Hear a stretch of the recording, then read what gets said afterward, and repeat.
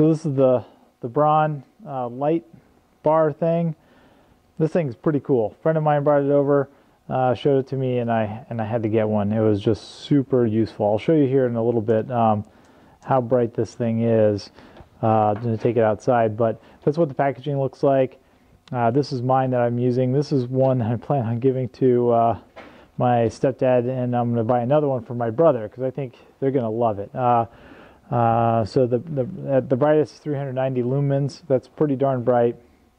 Um, it's uh, you know is has three settings. So um, bright, dimmer, and then on the end has a light. I'm going to show you that here in a sec, but uh, my opinion, totally worth it. This is all metal. This part's plastic right here. Um, and there's a magnet at the bottom. This thing swivels.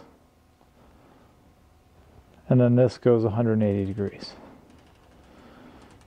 Um, the only my only complaint is this part right here up here is plastic and it feels a little loose right in the end here. Um, like if I shake it I can feel it like it's a little loose but other than that thing's pretty darn good. There's a rechargeable battery in here and then there's a rubber cover right here.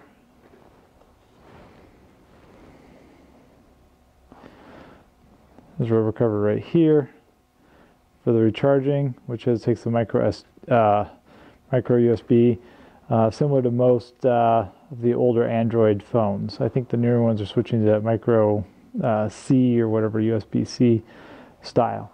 Uh, but these things are cool. totally worth it, especially if you work on a car. You slap this thing underneath the hood. Uh, it's super easy. Here, and I'll show you the uh, out in the dark right now. You get it uh, Harbor Freight. This thing is actually pretty freaking amazing how bright it is. Um, it's just this wand right here. The nice thing is with the magnetic base, you know, you can stick it anywhere and then adjust this.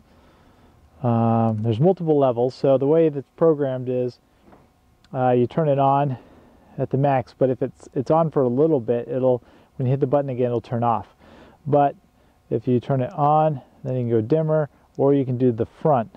Like there's actually a light on the tip that acts, and actually quite amazed at how well this is showing up on the camera actually, because normally lights um, so this is, I guess, good for walking around, or you just need the, you know, um, just the angle that you're trying to see. Uh, you can only really get just the tip of the, the, the light in there. But now if I hit the button again, it'll turn off. But then I can go full blast.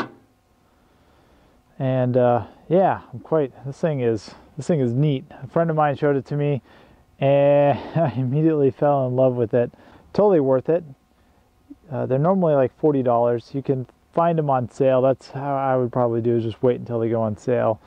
Uh, they go on sale for $26 or $27. I think normally you can get something similar on Amazon. I haven't tried any of the Amazon ones, but uh, um, but this Harbor Freight one is definitely handy. Mostly metal.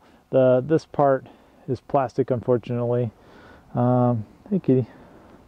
But I hope you thought that was helpful. If you did, please give me a thumbs up. Um, yeah, I'd appreciate it. Check out some of my other videos if you like. I don't do a lot of reviews, unboxing stuff, but I have a lot of other like uh, car projects, welding projects, various photography stuff as well. So, all right, thank you. Bye.